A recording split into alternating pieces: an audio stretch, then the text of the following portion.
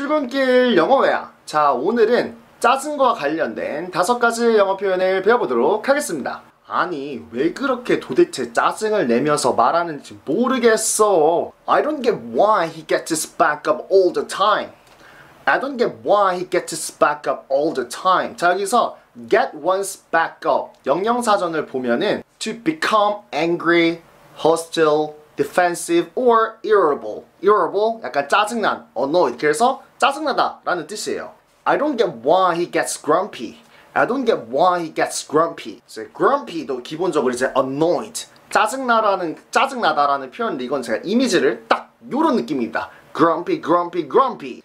I don't get why he talks in an irritated manner. I don't get why he talks in an irritated manner. 왜 그렇게 안 입곱게 말을 해? Why do you talk like that?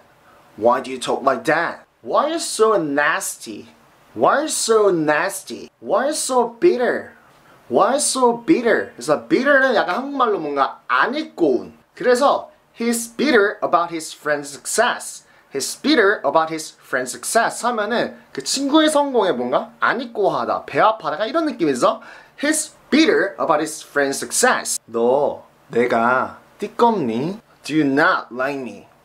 Do you not like me? Am I annoying? Am I annoying? 미안하면 끝이야. Sorry doesn't solve anything. Sorry doesn't solve anything. Sorry doesn't cut it. Sorry doesn't cut it. Is that all you've got?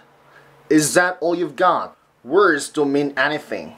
Words don't mean anything. 진짜 참다 참다 못해서 말하는 거야. I'm finally letting it all out because I can't take it anymore.